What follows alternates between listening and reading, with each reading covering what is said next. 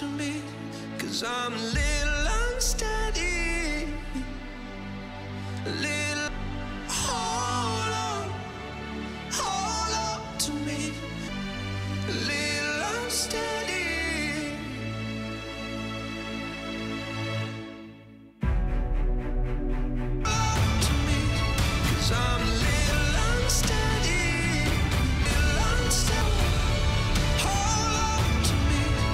sun.